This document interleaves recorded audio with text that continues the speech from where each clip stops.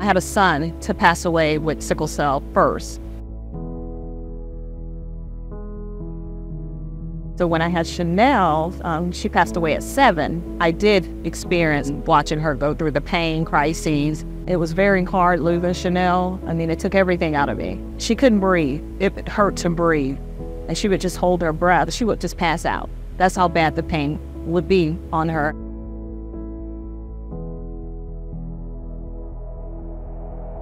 I know it's going to help um, maybe save somebody's lives. So I give blood because of the blood transfusions that they need.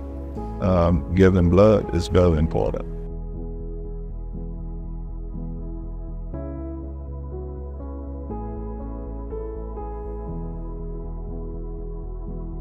Help out, donate blood, take it serious, do your research on sickle cell. We really need help.